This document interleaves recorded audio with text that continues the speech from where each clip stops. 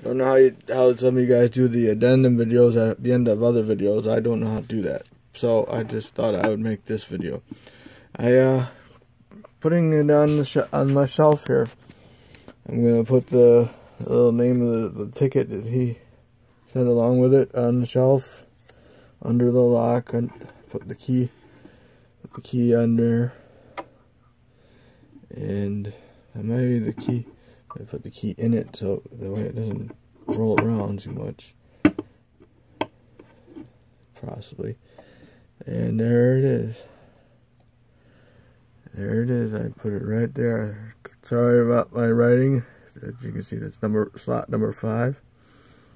I put it on the slot number five here, where it can be seen.